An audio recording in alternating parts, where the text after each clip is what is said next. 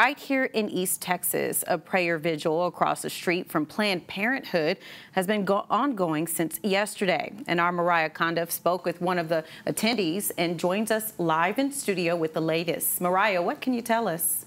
Hi, Sade. Well, the gatherers wanted to emphasize that this is not a protest. It is a prayer vigil as they pray for what they believe to be justice. The oral arguments began today for the Dobbs versus Jackson Supreme Court case, and organizers say this case has the potential to overturn the historic Roe versus Wade case, an outcome they say they're praying for.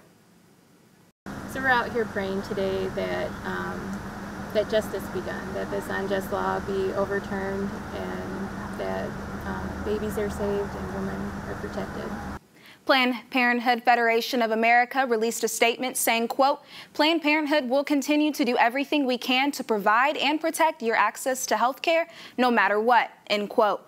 The nonprofit also says they cannot predict the ruling of this case or the case about Senate Bill 8 in Texas, but wants to encourage community action by taking proactive measures to protect access to abortions. SB 8 has now been in effect for three months. It's the most restrictive abortion law in the country, banning the procedure at the moment a fetal heartbeat can be detected, which is as early as six weeks into pregnancy. That case will ultimately be ruled on by the Supreme Court as well. Back to you at the desk, Sade.